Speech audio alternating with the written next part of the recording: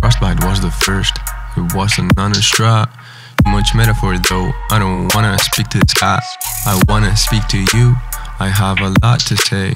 I want you to speak to me, cause you keep my pain away. I can't ignore my feelings, so I need them out my head.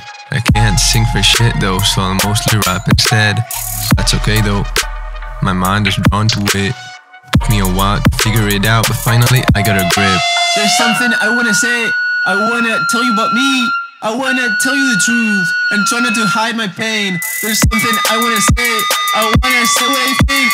I wanna think what say.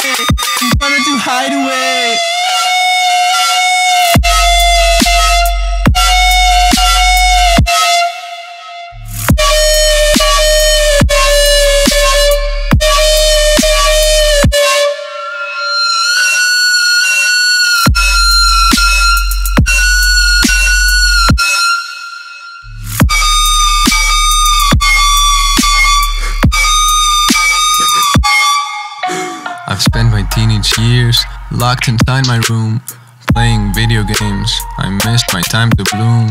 My dad tried to warn me, he knew it would bring doom. It was one of his fears, I was being consumed. I enjoyed it for a while, destiny was so fun.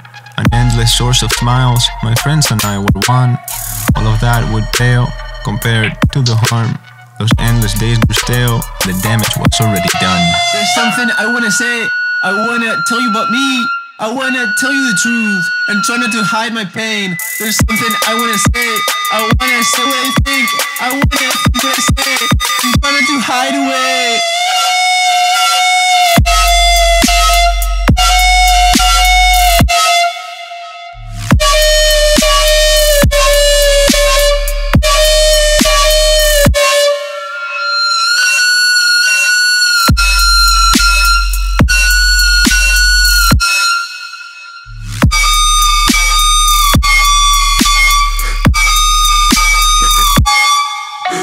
So that was Pain and Truth, the third one on the list. To document my youth, to help myself exist.